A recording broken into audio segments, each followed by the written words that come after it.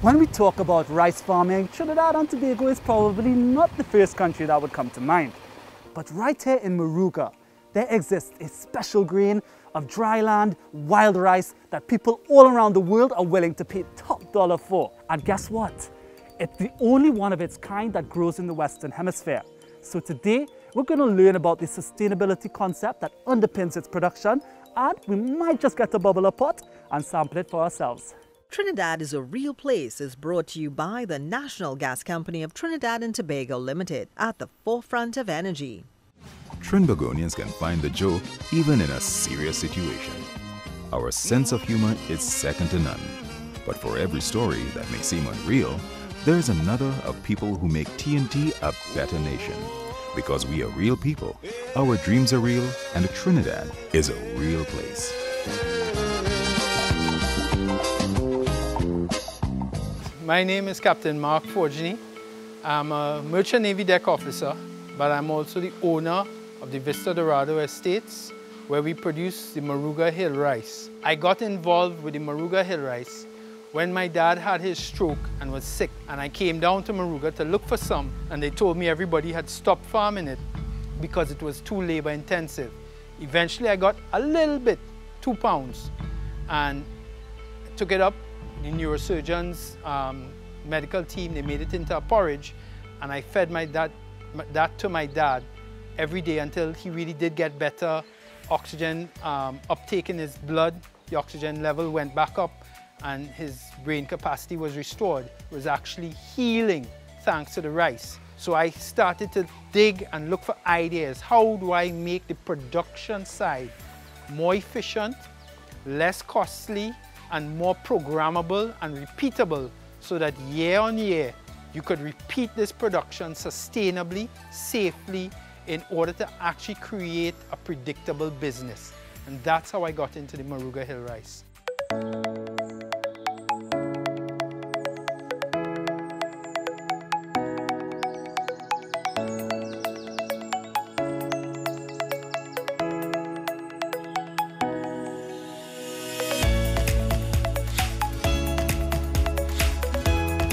I think this is my first time actually taking in a rice plant. I would have just assumed that this was bush. Yes, so, it, it, actually just looks like grass, but... Um, that is fascinating. Yes. So if you look, especially here, you can see it. It's in belly here, as they would mm. say, and then it would grow upwards, and then it will so, fall over like that. When you say in belly, is it that the actual grains, each individual grain it's of rice, there, they're yeah. packed in there? Yes. And you kind of have to I it guess when you harvest. Out. Yeah, it will grow out and it will fall over like that and then when you harvest. I do this because it's, it has been a passion of mine for a number of years. Um, I was discouraged initially because um, it's, it's a field where women are not usually involved in. I like a challenge and I, I took the challenge. So my vision for, for this entire thing is really to show other women that it is possible, you can do it. It's not a field that is far away from you. You can do it, although it may seem like a, a paramount task, uh, as well as bringing some positivity and light back to Moruga and encouraging the youths to show them that they can get involved in farming. So I do get a sense of fulfillment with what I do here because it's what I, I wanted to do all along and I'm seeing part of my dream coming alive.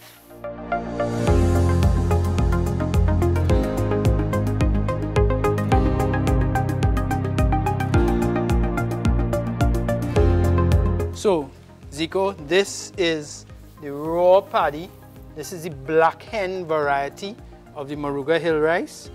Right? As it comes from the field, it's dried in our dryer for about three hours after coming from our harvester and then from the dryer it's conveyed into the silo where it's stored in this sadi paddy silo. It's stored in one of these two silos until we're ready to pull it into the mill.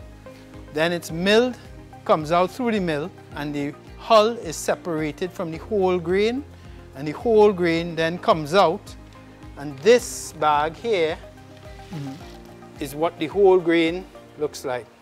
Wow. And so what happens next uh, um, after this? So then we cook the rice. This is my grandmother's recipe. Some Jeera hill rice, Moruga hill rice. You can smell the Jeera from here, like, Yep, okay. all the flavor and you see it's soft already. We also have a scorpion pepper variety, a pimento variety. So you could do scorpion pepper maybe with lamb. You could do the Jeera with a nice fish. You could do the pimento with a nice steak. Yeah, so you have a variety of ways. You could do the traditional way with a nice curry. So is this Yeah. ready to serve out now? This is in fact ready to serve out, fresh out the pot. This is lovely. And you get all the it's got a flavor really in, in the rice. distinct texture. Yes, the nuttiness is there, mm-hmm. right? Yes, it's a, like a sort of a nutty graininess that you wouldn't get with like regular white rice. But let me tell you, this is absolutely delicious. all the flavor is locked in. That is what is unique Mm-hmm. about the Moruga Hill rice. And with all the vitamin C, the Mm-hmm. iron, the fiber, it's good for you. You can taste that. You can It taste is that. good yeah. for you. Because beyond the Jeera, you can really see that there's something Yep. special, like just unique about about this rice. Enjoying it, Zico? Your mouth full. That's important. That's what's important. That's the real test. The acid test, a happy customer. Trinidad is a Real Place was brought to you by the National Gas Company of Trinidad and Tobago Limited at the forefront of energy.